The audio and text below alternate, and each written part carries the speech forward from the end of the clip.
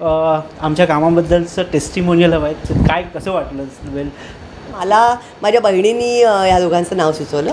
आणि म्हणजे काही माहिती नसताना ते इकडे आले. आणि the kind of recreation they did with my house म्हणजे आधीचे आपल्याकडे फोटोग्राफ्स आहेत. म्हणजे त्यांना काही स्ट्रक्चर्स पाडून ती नव्याने पुन्हा करायची होती.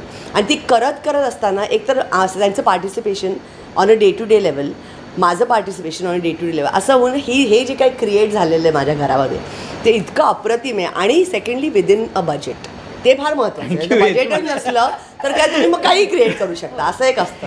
उदाहरणार्थ ह्या आरशाविषयी मला प्रॉब्लेम होता किंवा आरसा आल्याला काय आरसा. पण त्याचं इतकं ते तो डोळ्यात न येता तो एवढी मोठी स्पेस क्रिएट करतो. आरशे स्पेस क्रिएट करता मला माहिती आहे. पण ह्या घरात मला पण ह्याचं की नाही. पण निलेश इन्सिस्ट ऑन दॅट त्याच्यानंतर. ही जी गोष्ट आहे हे फारच खास. आहे त्यांनी मला दाखवलं होतं की त्यांच्याकडे अशा तऱ्हेचं पार्टिशन होतं. आणि आम्ही ठरवलं की या घरामध्ये फर्स्ट टाइम मला वाटतं घरात केलं. हो. ऑफिसमध्ये हे पार्टिशन आपण बघितलेलं आहे. पण इथे कारण I wanted something which again was not in असं डोळ्यातनं येणारं येट ब्युटिफुली प्लेस्ड आणि मला असं वाटतं की सगळ्याच आमच्या म्हणजे इच्छा इच्छापूर्ती सगळ्याची झाली. माझा मुलगा. खूप साशंक होता या सगळ्याबद्दल. If you Right, remember right. आणि Nilesh Initially. Tough time convincing him पण अं, माझ्या मुलाची खोली तुम्ही बघितलेली आहे. आणि ती फारच सुंदर.